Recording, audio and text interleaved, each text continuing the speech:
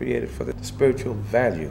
And so when parents or some teachers or some museum head says, well, I don't think that that's appropriate. No, what is appropriate? What is inappropriate? I think that children need to see, they need to be taught that the body is beautiful, it's not nasty. Sexual organs were displayed, the breast was displayed. Uh, the reason and the purpose?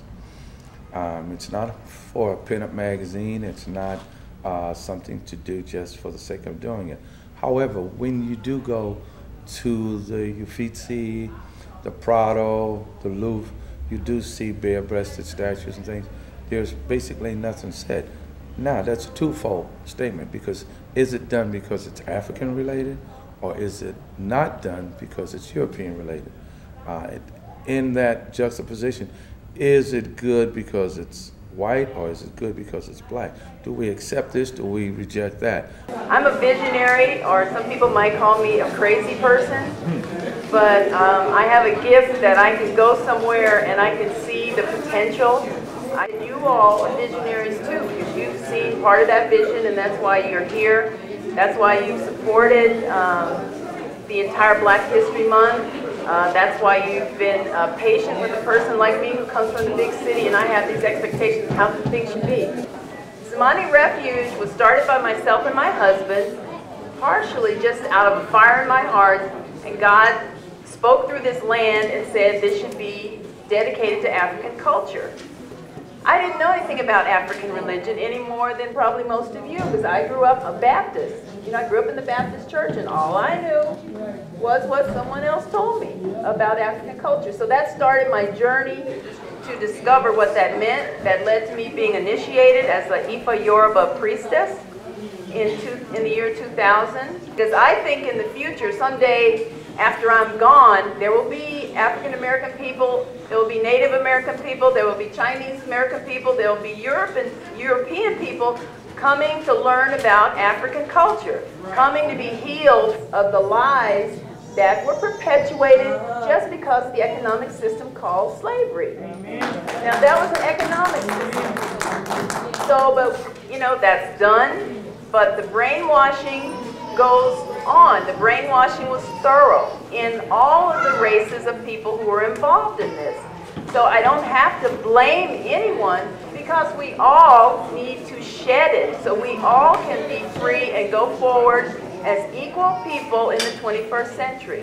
Things were removed from that exhibit without asking me and without understanding what they were. They were going by their old understanding of you know, maybe it has something to do with fertility or something. But what this community needs to understand is they need to come to me if I'm the expert and I am standing out supposedly representing you, the African American community, that if the powers that be or the white community would like to be sensitive, then they need to ask us because it, it perpetuates paternalism if you don't ask. If you don't just say, what do you think about this? You know, if I want to be called black, African American, colored, Negro, that is for our community to decide.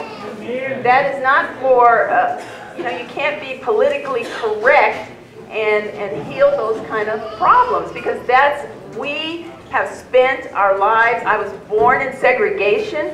We have spent our lives with other people telling us how we should think, how we should feel, how what images of beauty are correct, etc., etc. And so have the Native Americans. So when these things were removed from this exhibit, the reaction I had was not something I expected. But I am a priestess. I am a guardian of our culture. And I am a guardian of my bloodline, my Native American bloodline. They would not let me sleep. So, I, you know, so I, I, brought, I just brought one of the, the items because I want to teach our own people. When I see people walk up to a doll, I see an African American walk up to a, a little African doll and say, ooh, that's voodoo. I mean, do you understand what voodoo is? Do you know where it came from? Do you know why it has the, the connotation it does? That used to be a high spiritual term for the Fon in Dahomey. But because of Hollywood and all of these voodoo movies and you know, Tarzan and all of our images, which have been shaped by the media, and we just, you know, we grow up just uh, breathing it. You know, my husband was offended by these things being removed from the museum before I was. And when I talked to my spiritual teacher about it, he said that's because you as a black woman get used to slights and being, you know, having things done and you just go, okay, it's all right. My husband was was really blown, you know, blown out of the water about the whole thing. So I just want to show you this one. Yeah. This is not from um, the tradition that I'm initiated in, but they're all very similar. This is the Chokwe people. They have similar tribal marks to the Yoruba. And she's nursing a baby. And she also has a baby on her back, and she also is carrying a snake. So what these people didn't understand was this was a symbol of divinity. This is the same as the Virgin Mary. Okay? It's exactly the same. It symbolizes a certain power held by the mother who is revered. And so you as African Americans and our friends who are not of African descent have to understand and start to be, you know, ask someone in authority what this is.